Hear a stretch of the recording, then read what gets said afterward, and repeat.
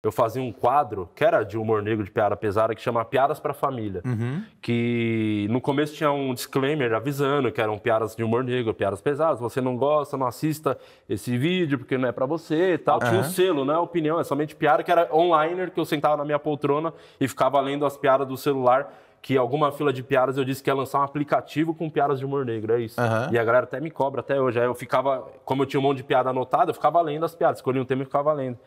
E aí, eu- foi o que eu fiz umas piadas com o Suzano. Provavelmente hoje eu não faria, Aham. da época da escola, mas, enfim, fiz, tá lá, as piadas e tal. E dentro desse quadro, só que aí, porra, cortaram o, todo o resto que tinha explicação. Pegaram muito fora de contexto, e quem fez isso foi um político, um cara lá de Suzano da cidade, que tá, enfim, brigando lá por Suzano, não É, Suzane. É, foi parecido. Parecida. É, bom. Suzano. E aí jogou na página dele do Facebook e, e aí deu uma bosta que a galera não quer nem saber o contexto. E aí o Balanço Geral pegou esse trecho, exatamente o mesmo trecho que o cara cortou, que tirava toda a explicação dos caramba, e eles ficaram passando isso duas, três horas da tarde, não sei que horas que passa o programa, ao vivo. Olha que absurdo que esse cara fez na internet. E ficava passando as piadas. Repetindo as piadas, não, olha que absurdo, não sei o que. Isso. E o Percival, é, aquele velhinho lá, sabe? Ele ficava analisando as minhas piadas. E o Gotino, eu até tenho certeza, assim, se você assistir o vídeo depois, depois procura, deve ter em algum lugar. Tem umas piadas ali que ele tá segurando o riso. Que dá pra ver que dá uma acertadinha nele. Teve uma hora que eu falei que, ah, Su- Suzano tá tão perigoso que deveria chamar Suzano von Richthofen. Aí eu vi que, dá, dá- sabe, dá uma. O cara meio assim, porra. Terrível! É, que absurdo! sabe, que Terrível. absurdo. Terrível o que ele tá dizendo. É, é, e foi. E isso que é o bizarro, né? Tipo, é uma coisa que eles acham é, Caralho. completamente absurdo, tá disponível para as pessoas. O que, que eles fazem? Eles pegam e mostram, tipo, duas da tarde ao vivo para um público que não tem nada a ver com o meu, enfim. E aí deu. Isso eu queria entrar no assunto, essa coisa do, do, do público. É, o, o público que vai né, para assistir um show de stand-up, ele não é o mesmo que vê casualmente na internet ou então no balanço geral, tá ligado? Não, não, não sabia é. que era um lugar onde a comédia podia Tá parar, chegando, mas tá aparentemente tem, tem, tem o, o momento do stand-up, do balanço geral. Cara, mas é sério, ahn, até que ponto vale a pena dividir, né? Com o com, né, com, com um público maior na internet? Porque, meu, você divulga ali um vídeo na internet, você sabe que isso pode ajudar seu show, Sim, né? Lotar pra caralho, você sabe que isso pode é, ser uma coisa positiva. Ahn, ao mesmo tempo, né, cara, quando você tá naquele momento ali de intimidade com, sei lá, mil, duas mil pessoas, mais, menos, whatever.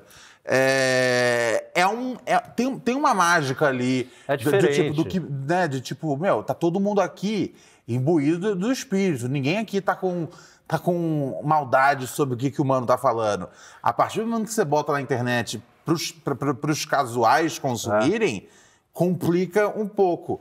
É, é, isso tem, é, né? é, um, Tem um pouco a ver tem a do ver. fato de, de dar uma segurada agora, porque, e, como eu disse, era uma busca de, de poder ser livre na comédia. Nem me taxa, assim, ó, o cara do, de humor negro, nada. Eu sempre. Tanto porque no meu show tem uma piada pesada. Se for no meu solo, você vai ver, pô, ele fala um assunto pesado, sei lá, doença, mas ao mesmo tempo eu tô falando da minha filha, que eu levei ela, a primeira vez que eu levei ela no teatro. Então, Total. eu só quis ser livre de poder fazer as piadas que eu acho que é engraçado. Essa foi minha busca sempre.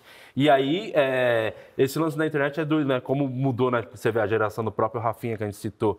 Ele bota- botava um vídeo na internet, um Nana Neném, ele ficava um ano sem botar outro vídeo, que era o suficiente para as pessoas irem no teatro durante esse ano. Essa, semana, essa, essa época, os caras têm que botar um vídeo por semana. Por tipo, semana, ó, então. cola lá no Hilários, É. mais o vídeo, A- mais o vídeo. É isso. A fila de piadas, que foi o quadro que mudou assim a nossa vida, assim, que era quadro semanal, um tema que um, um por vez ia lá fazia piada do mesmo tema.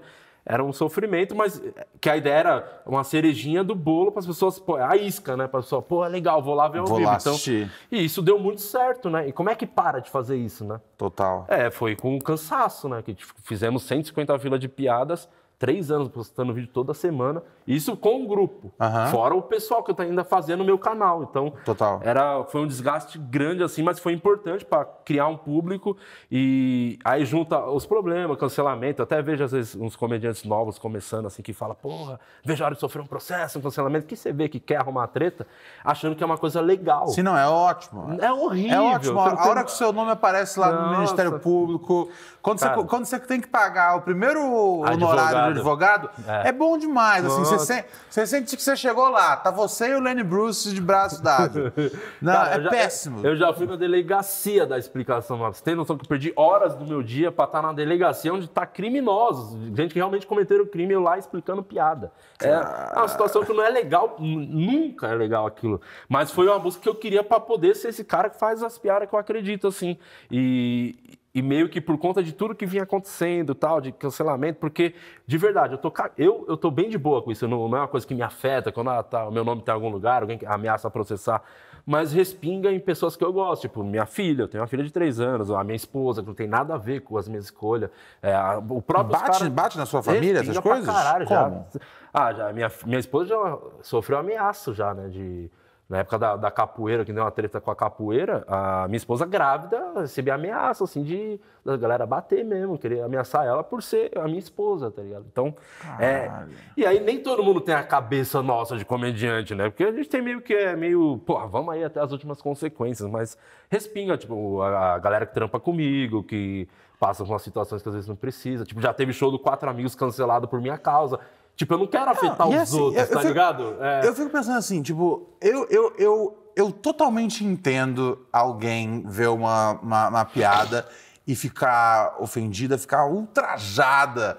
Mas Pra eu não consigo entender como, a- como resolver isso é indo atrás. É da, não da deixando a famí- pessoa fazer É, mais, Eu, vou, né? eu, vou, eu, vou, eu, vou, eu vou atrás da, da, da família do cara que contou a piada. É. Tipo, meu, vocês estão sendo mais ver. baixo do que supostamente o, cara conteúdo que é. te ofendeu, né, no palco fazendo as piadas. É coisa de mafioso, né? Tipo, vou, É, vou ameçar tipo- a sua família. É, né? velho, é, É bagulho, é bagulho da máfia esse negócio.